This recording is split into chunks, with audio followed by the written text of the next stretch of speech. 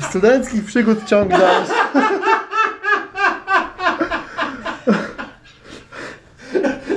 Żuja? кривой морде. Ну, по-русски не очень неприлично. Dobra, okej.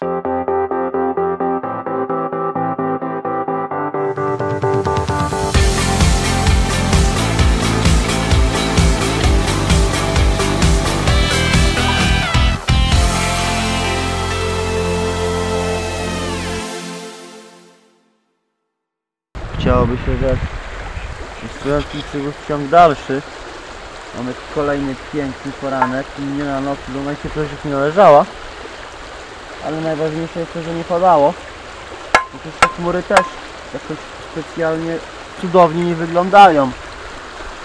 Stąd do celu naszej dzisiejszej podróży jest jakieś trzy dychy, więc już niedaleko. Samochodów za dużo nie ma, ale no myślę, że możemy sobie śmiało dać 2 godziny na dotarcie do celu. Nad rzeką taka jako reczka. Bóg, bur. I ta... tam napisane. Reczka Mut. Nad reczką Mut. Gdzieś we wschodniej Syberii. I powolutku będziemy szykować się... Tak. Odźwigać się w stronę jego siostry. Słucham Dimy, a Dima mówi, że no, poznakomił przez internet dziewuszkę. Хабаровский край за 4000 километров я ради нее ездил. A jaka to pora? Zima, leto? Зима. No, Я в тоненькой курточке, в тоненьких джинсах, в таких ботинках. Поехал к ней на попутке. No i poleciał do... Я, в принципе, не замерз, мне не было холодно. Потому что я знал, когда я к ней приеду, она меня обязательно согреет. Надеюсь, понял в каком смысле. Wróciliśmy na trasę. Krasnojarsk Irkusk. Nagle Dima mi mówi, słuchaj, to w sumie to tak jeszcze z 5 dych, a potem jeszcze z dwie dychy. No, fajnie. У тебя ж монеты еще остались? Monety ruskie или европейskie? Европейские. Европейskie, конечно. Это Блин. будет 20-30 монет. 20-30 монет.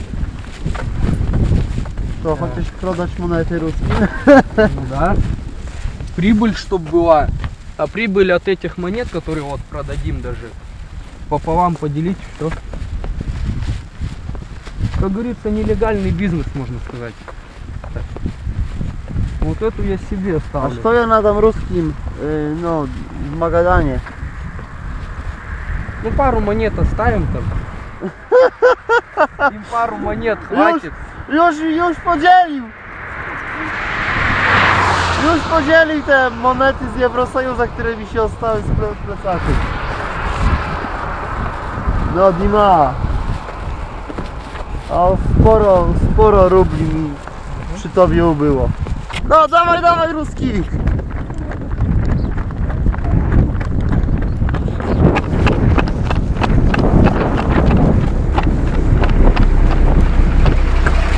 Ruski.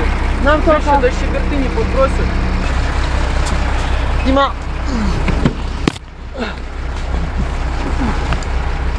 O, Ja z Polszy, Больше путешественник.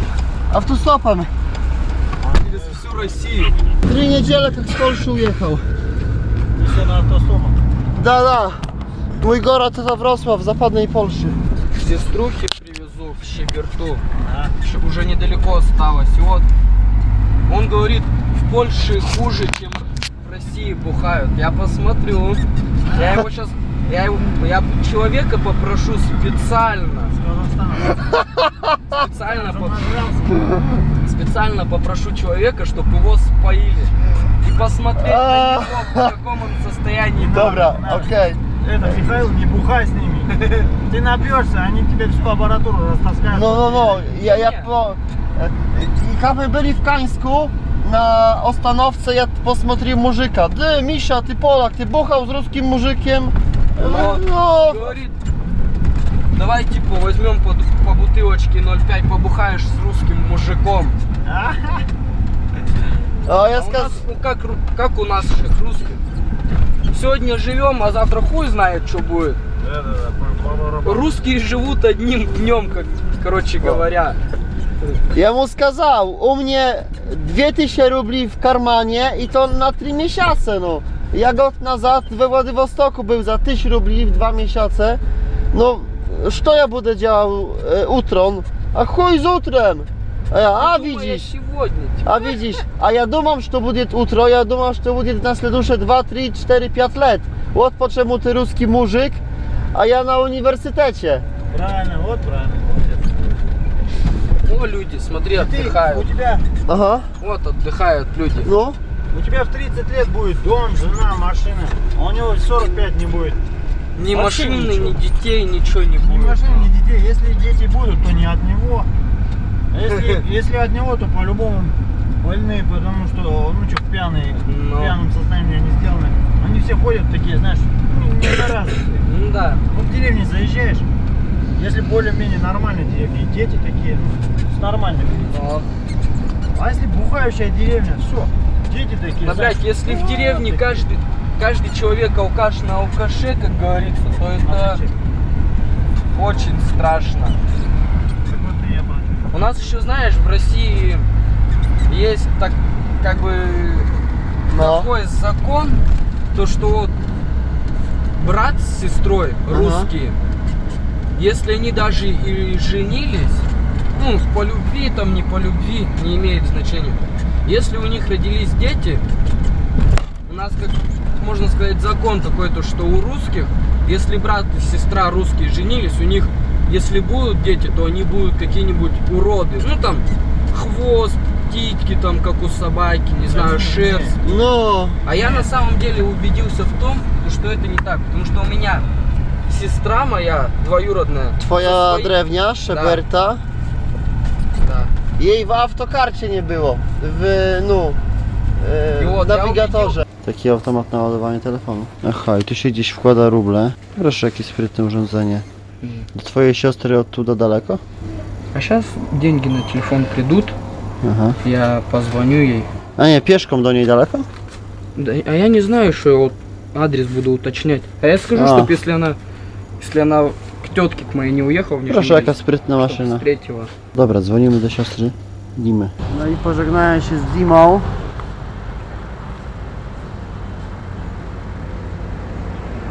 Okazuje się, że jego własna siostra się do niego nie przyznaje. A wszystko, jak twierdzi, zaczęło się od tego, że wstawił się za brata, który ukradł jakiegoś laptopa. Poszło na niego, wylądował w Krasnojarsku. Teraz chciał wrócić do domu, znaczy do domu, do siostry. Siostra mieszka oddzielnie, brat mieszka oddzielnie, brat go w ogóle z domu wygnał. Siostra młodsza się do niego nie przyznaje. Pytam się go co dalej. Mówi, że jadę z całą do Polski. Mówię, no dobra, ale jeszcze wiza i tak dalej. Poza tym musisz mieć na utrzymanie. No i stary, no wiesz, ja w Polsce mam pewne fajne rzeczy, na które trochę pracowałem, a nie jestem w stanie jakiegoś tam Rosjanina jeszcze przy sobie trzymać. Zwłaszcza, że nauczenie się polskiego to, to nic. Jakby chciał tam sobie życie układać. Mówi, że sobie tutaj ułoży, że robotę znajdzie szybko, pojedzie do miasta 5 dych dalej, kimnie się tam paru ludzi, no i że jakoś stopniowo to wszystko będzie wyglądało. Rozstaliśmy się. Z tego co się nam ustało, po wczoraj nic nie chciał, powiedział, że sobie poradzi.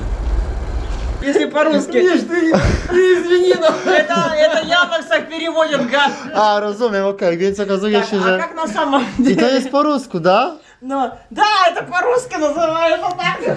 Никак.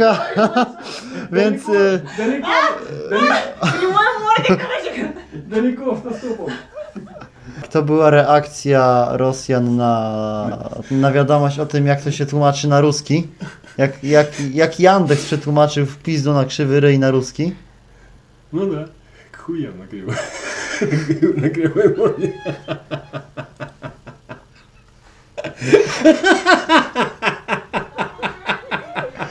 Taki sport narodowy? No da. Минус Взрывное заграждение. А сейчас погоди, я там гляну, может быть там идет. на полных парах. No, zabawa polega na tym, że to jest biatlon. Не из Czołgów. вот эти аплодисменты. E, ścigają się i strzelają czołgi e, ruskie, Сорви голова. kazachstańskie, białoruskie i armeńskie. No i chłopaki walczą.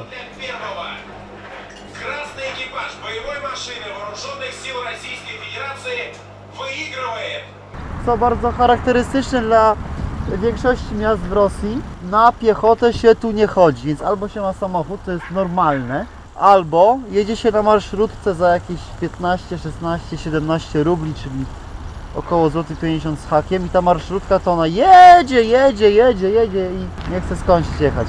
Jedziemy zwiedzać najbliższą okolicę. Gdzieś tutaj rozlewa się Angara, czyli jedyna rzeka, która wypływa z Bajkału i wpada do Jęsieja. No i co najważniejsze, moje morale szybuje.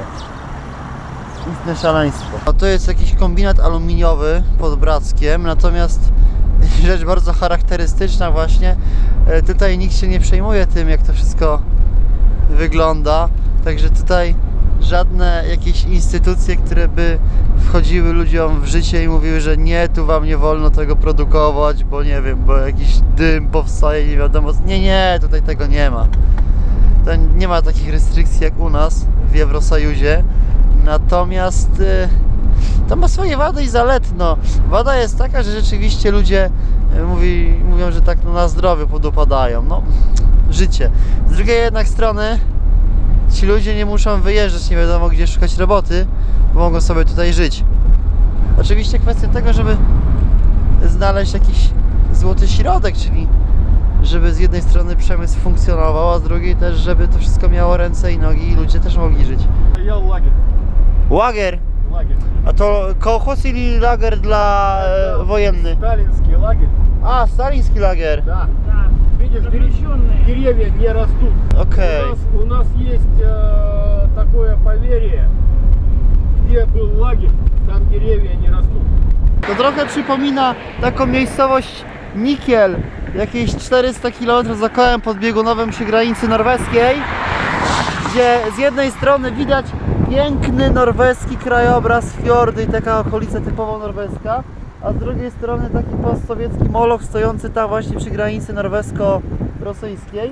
I tutaj w Bracku, bo to jest podobno część Bracka, też coś takiego występuje, że z jednej strony okoliczności typowo syberyjskie wydawałoby się, a tu nagle bum. To też pozostałości po Związku Radzieckim. E, fabryka aluminium. No i w każdej z tych e, hal jest 90 wanien właśnie z elektrolitem. Natomiast musimy bardzo ostrożnie tutaj przejeżdżać. I ja też z tą kamerą muszę uważać, bo, bo to jest taka pozostałość właśnie, że e, pilnuje się kompleksów przemysłowych. Ja się na przykład dowiedziałem jadąc przez Syberię, że tutaj gdzieś nie można skręcić w prawo albo w lewo, bo jest zamknięte miasto. Jak to zamknięte miasto? Przecież to z reguły to były na granicy miasta pozamykane. Gdzieś tam jakiś Nikiel, jakiś tam Zapolarny, Sputnik, gdzieś tam pod Norwegią. Ale nie, tutaj też jakieś tam technologie przemysłowe działają. Nie można wjechać. U nas zwiedza się rynki i starówki. Tutaj, że rynku i starówki nie ma, to zwiedza się to co jest. Czyli zwiedza się jakieś tam e, przemysłowe obiekty. No i opatrzcie jakie nasze miasto wielkie przemysłowe od aluminium produkujemy. Nie mogę się specjalnie jakoś mocno wczuć w zwiedzanie tego miasta, dlatego, bo jako ktoś, kto przyjechał z zachodu, jestem raczej przyzwyczajony do mm, oglądania miast zachodnich, stąd e, w momencie, kiedy już rok temu zorientowałem się, że e, w postsowieckich molochach tutaj raczej tylko się Lenina ogląda i jeszcze pomniki wojny, nie za bardzo wiedziałem, jak się do tego ustosunkować. Teraz też nie wiem Po prostu oglądamy. Brackie Muzeum Etnograficzne gdzieś w środku lasu. Jedyne miejsce, jedyne miejsce w mieście, gdzie nie wali aluminium i jego produkcją. Natomiast jest bardzo charakterystyczna. Nie bardzo rozumiem tego znaku, że tu buchać nie wolno. Да. A Маня maleńko Куля buchać писать- wolno, da? Не, мне больше нравится, что Ага, вот. нельзя писать Понял. Маня Куля. Ой, kola. Co to mania kola? Нельзя писать. Купание запрещено. No nie wolno pisać, no dobra, no spoko. Мгм. Ale że, że nie wolno mnogo buchać, tak? A maleńko buchać mo Можно. można. Вот- A, Меньше Вот- 40 Вот градусов это можно, нельзя, да? а это можно. Здравствуйте. Еще раз, это с вами иностранец? Да. А почему не сказали? А что я должен сказать? Другая цена для что? иностранцев. w przypadku y, wnoszenia jakiegokolwiek sprzętu typu aparaty, to trzeba to na nazwisko. A dla obcych jest bilet. Zawaliłem sprawę, no ale cóż. Chociaż z drugiej strony, jakby nie zawali sprawy teraz, to nie byłoby tego unikalnego, unikatowego materiału, y, który obrazuje to, jak tutaj się podchodzi właśnie do, do obcokrajowców, że a, przyszedł? O, z innej strony, no to słuchaj, jak Cię stać na to, żeby się tak po raz i szlajać, no to na pewno Cię będzie stać na to, żeby jakiś droższy bilet no kupić, no co to to? Gospodarstwo rosyjskiemu przecież trzeba pomóc, no co to, nie nada tam troszeczkę dienik, nie nada, no, no nada, no oczywiście. Dwa razy tyle. A mi też by się nudziło. Mięsny no mieszka. Na Такие jego же в miejscu. лесу. Такие же точно. Это To местный. podwójna klatka dla idiotów, gdyby ktoś przypadkiem chciał niedźwiedzie pogłaskać. No da, a to... Один paszport, da? Да. А иностранный, заграничный другой. A inostranny dla ruskich, da? Да, да. Один to paszport dla ruskich w, Ros- w Rosji. Да. A А вы- уезжаю из России, у меня другой паспорт. czyli w Rosji po dziś dzień stały się paszporty wewnętrzne i paszporty zagraniczne. Znaczy powiedzmy, że ten wewnętrzny to jest coś w rodzaju dowodu osobistego. Nie spodziewałem się, że takie coś się ostanie jak muzeum etnograficzne tutaj. No ale jest rzeczywiście. Pokazują albo próbują pokazać jak tam niegdyś ludzie tutaj żyli. To jest rekonstrukcja z czasów kolonizowania tej części Syberii przez e, ruskich. Jak to sami Rosjanie powiedział. I tak naprawdę zasadnicza różnica pomiędzy tym, jak dzisiaj wygląda architektura rosyjskiej wsi, zwanej drewnią, a tym, jak ta architektura wyglądała kilkaset lat nazad, moim zdaniem zasadza się jedynie w włączeniach tych e, belek, bo one są robione z pali. Natomiast te współczesne łączone są raczej o, mniej więcej w ten sposób. Ну, металлург. Dużo się zmieniło w tych wsiach rosyjskich. Конечно, без изысков, без воротника, потому что воротника тяжело было вышивать. Вручную. To to jest Angara. E, Na Angarze stoi Tama i tam jest elektrownia wodna. Tam też ona się w taki charakterystyczny sposób rozlewa, że raz zawija się strasznie, a dwa są właśnie takie zbiorniki. Ich jest bardzo dużo. Po jednej i po drugiej stronie rzeki. A tu gdzieś jest elektrostacja, tak? Да. No. I jeden z tych takich zbiorników pobocznych, gdzie się rzeka rozlewa, to jest to, co widzimy tutaj. Strasznie się rozleniwiłem. Spróbuję się zabrać z ruskimi studentami. Z Polski!